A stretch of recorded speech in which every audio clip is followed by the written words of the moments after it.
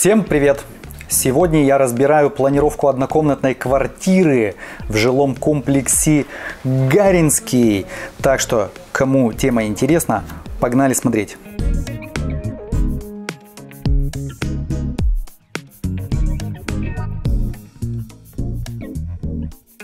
Прежде чем начать разбор планировки, подпишись на канал, нажми колокольчик. Ну, а я начинаю. Итак, перед нами однокомнатная квартира площадью 58 квадратных метров и стоимостью, внимание, 10 миллионов 950 тысяч рублей. Это дом от Атомстройкомплекса, точнее он его достраивал. Итак, перед нами однокомнатная квартира, я бы сказал, очень интересной формы она уж слишком неправильная. Вот обратите внимание, пожалуйста, какая это фигура. Я даже не знаю, как ее обозвать. Звезда, треугольник или что, или что это такое. Ну, в общем, традиционно начиная с прихожей. Давайте посмотрим, что тут нас ждет. Нас ждет 7,6 квадратных метров какого-то такого почти бестолкового пространства. Почему бестолкового? Потому что места для шкафа абсолютно нет. Есть закуток в виде треугольника, который абсолютно неудобен для одежды, а сам по себе шкаф поставить некуда. Ну, судите сами. Что такое шкаф? Это прямоугольник 60 сантиметров глубиной и шириной хотелось бы побольше, ну хотя бы метра два как минимум, ну чтобы туда шубы, телогрейки ваши все влезли, понимаете?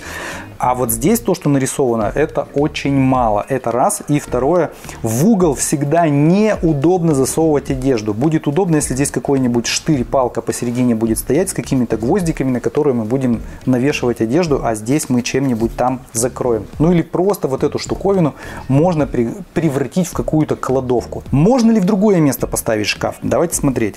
Вот у нас остается стеночка, и по идее это самое оно место-то для шкафа. То есть если он был бы утоплен, и здесь от двери до стены было ну хотя бы 70 э, сантиметров, тогда бы мы вот в эту нишу шкаф поставили, и все было бы идеально. Но такой истории здесь нет, здесь очень мало места. Поэтому остается закуток, куда мы, собственно, будем запихивать обувь, шапки, шарфы и польта. Или пальто, или польта, как правильно. Короче, куртки. Идем дальше. А дальше мы проходим в хм, кухню, и это абсолютно темное помещение. Смотрите, сами нету ни одного окна. То есть стоит кухонный гарнитур вдоль стены. И получается, что здесь у нас сразу же ближе ко входу мойка, дальше у нас есть э, варочная поверхность, непонятно где холодильник, ну, наверное, вот здесь. Вопрос, куда ставить шкаф? Мы же только что из прихожей вот вроде бы прошли, перешли из одного пространства в другое. Так его вроде бы и не надо сюда ставить, это же кухня уже начинается. А раз кухня, то где окно? Ну, в общем, странная какая-то история. Опять же, вот в это место шкаф не поставить, сюда тоже не поставить, потому что места нет. Ну, максимум, что только какую-то банкетку. Ну ладно, бог с ним. Идем дальше. Кухня получается тоже какой-то пятиугольной формы странной, из которой сразу же вход в санузел. М-м, интересно и даже странно, я бы сказал. Здесь на проходе стоит стол, что тоже не совсем верно, потому что стол, по идее, преграждает путь. Вот смотрите, да, вход в санузел и вход э, в спальню непосредственно. И вообще мы вот этот стол будем постоянно обходить, запинаясь об стулья.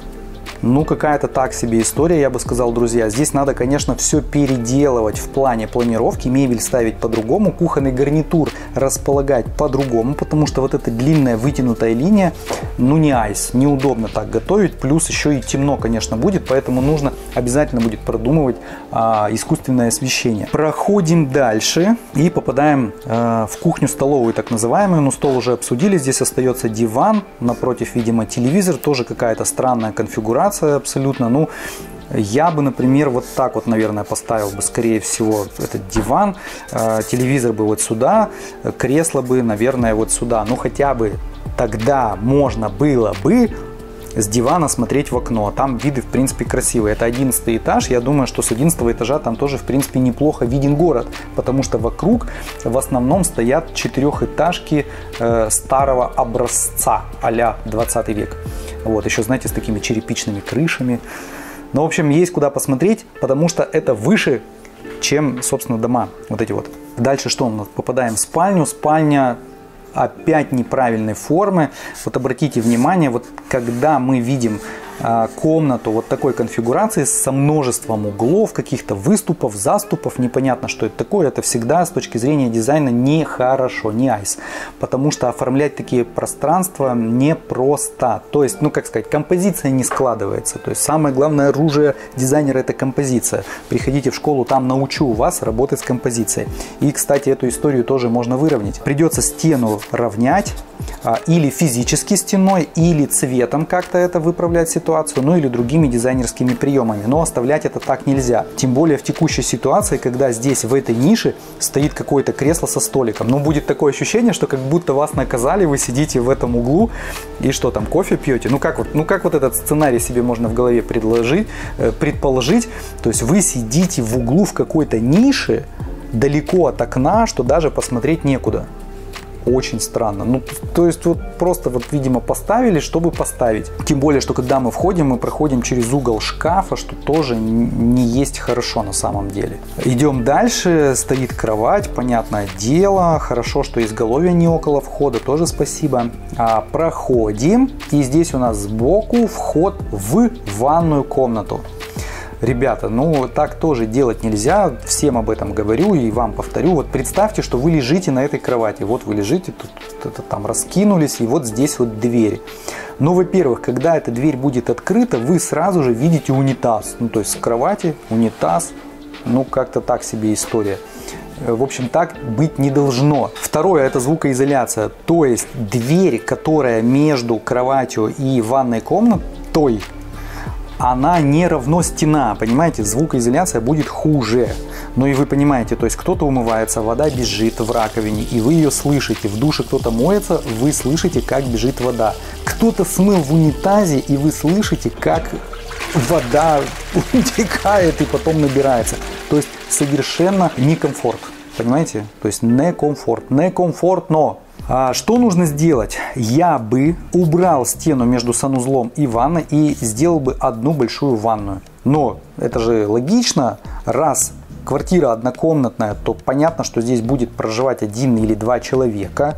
Ну и в принципе им достаточно будет одной большой ванной. Зачем здесь гордить огород, э, тем более, что он некомфортный. Вот такая вот история. Ну и в целом, что можно сказать про эту планировку?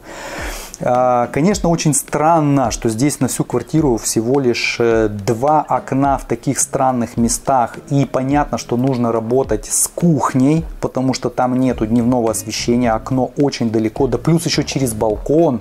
То есть это не сразу окно, это еще через балкон. Вытянутая форма.